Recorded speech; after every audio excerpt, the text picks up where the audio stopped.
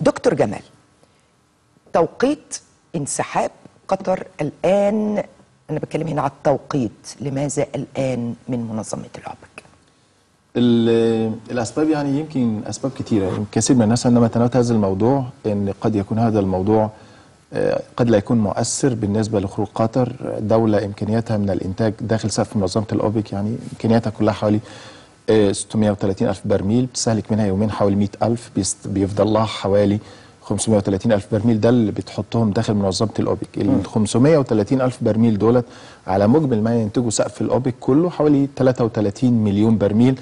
هكلمك في حاجة لا تتعدى 3% فيعني تأثيرها داخل منظمة الأوبك as production يعني as أيوة. إنتاج.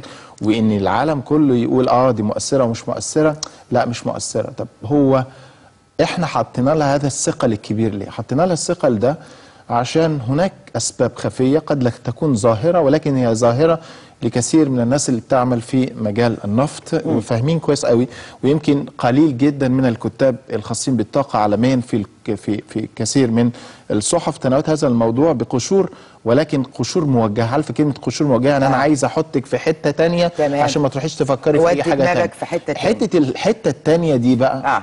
وهو إن قطر شايفة منظور آخر تماما. المنظور ده تم توجيه قطر ليه. وخليني أقول لك توجيه قطر قطر ليه؟ طبعا لأن أيوة. لا يستطيع هذا الفكر اللي هحكيه لك إن يكون لدى هذا هذه القيادة المح... المتاحة حاليا. ومع احترامي لكل الناس يعني أيوة. يعني إحنا تعلمنا حتى من القيادة السياسية بتاعتنا إن إحنا نتعامل مع القضايا اللي حتى بيكرهوا مصر بنتعامل معهم بنوع من الأدب ونوع من اختيار الألفاظ صحيح. يعني وبالتالي عايز أقول لك إحنا في الفاظنا شفنا إن الموضوع ده ليه ثلاث أسباب منهم ثلاث أسباب هم مشاكل تريد أن آه، يعني تدلو بها قطر في اتجاه منظمة الأوبك.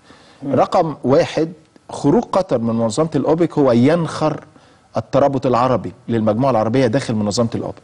آه. يعني أنت لما تقولي لي عندك 14 دولة داخل منظمة الأوبك نعم. وتقولي لي منها مثلا آه، بنتكلم على اولموست حوالي خمس دول عربية. أيوة. لما يكون عندي الخمس دول دي كلها وبعدين تبدأ واحدة منهم من هذا الترابط الترابط آه، كلمة الترابط- الرابطة نفسها الترابط جوه المنظمة. تخرج تخرج من داخل المنظمة فده معناه إشارة إن هي بتريد أن تنخر آه. في تأثير الرابطة العربية داخل منظمة الأب دي تفك. ال... تفك, تفك الرابطة التركيبة كده. الرابطة أيوة. العربية تمام النقطة رقم اثنين آه، آه، هي تريد أن ترد الجميل إلى إيران في هذا التوقيت لأن إيران تعلم جيد لإيران. لايران طبعا هي إيران عملت لها إيه عشان ترد لها إيران؟ دلوقتي هي التي آه، لها كل التأثير لدى قطر هي التي تمون قطر بالمواد الغذائية هي التي تأخذ كل الطيران السياحي وبيمشي خلال آه، طيران أو بيخ- بيمشي خلال السياحة الم- ال- من بحر العرب إلى آه، قطر. هناك كثير آه، من الترابط ما بين قطر في كل دعم السلع اللي بتأتي من قطر مباشر آه، إلى آه، من من إيران إلى قطر. نعم. آه، ال- ال- التصنيف الثالث وهو جزء يخص فكر مختلف جدا للاقتصاد القطري. إيه بقى الاقتصاد القطري؟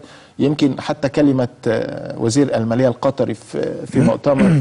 التعاون الخليجي اللي عقد في آه، آه، الرياض. في الرياض أيوة. آه، خرج على إن بيعطي آه، دلائل وكثير من الأرقام بتقول فيها إن الاقتصاد القطري في وسط هذه العزلة وسط هذه ال ال ال الانخراط بعيدا عن الرابطة العربية إنها ما زال الاقتصاد القطري قوي وما زال هناك الاقتصاد غير النفطي القطري يزيد 5% طبعا كل الكلام ده ليس له محل من الإعراف في المؤتمر ولكن كان المفترض أن يكون هناك نوع من الترابط والتوجه ونوع من آه، الز